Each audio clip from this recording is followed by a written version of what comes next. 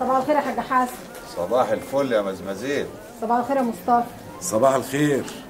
طلباتك بقول عايزاك تقطع لي نص من قشره الفخذ ونص من بيت الكلاوي وعايزة كيلو واحد بس مفروم كيلو واحد لا ولا تنقص حاضر.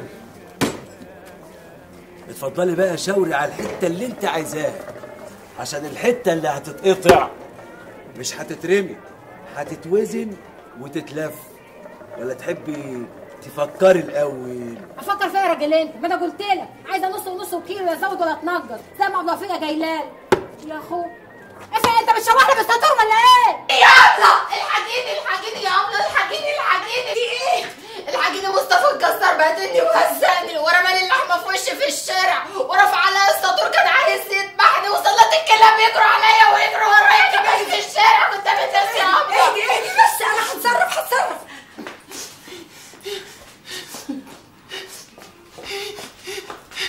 هنا على المفتري.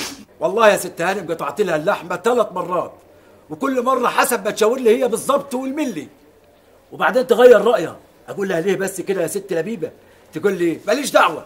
أقول لها طب واللحمة اللي اتقطعت دي أوديها فين؟ تقول لي حطها في الثلاجه ولا أديها للكلاب؟ اديني عقلك بقى.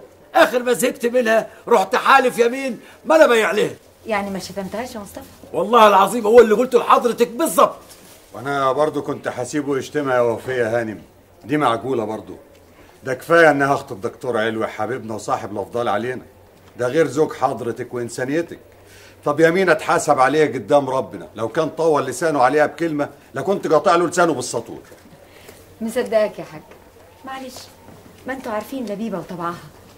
استحملوها عشان خاطري. ده إحنا نشيلوها على رأسنا. بس بقول يعني هي لازم تيجي تاخدي اللحمة. ما حضرتك تبعتي لنا خضر ولا اطلب الطلبية اللي انت عايزاها بالتليفون وإحنا نوصلوها لحد البيت.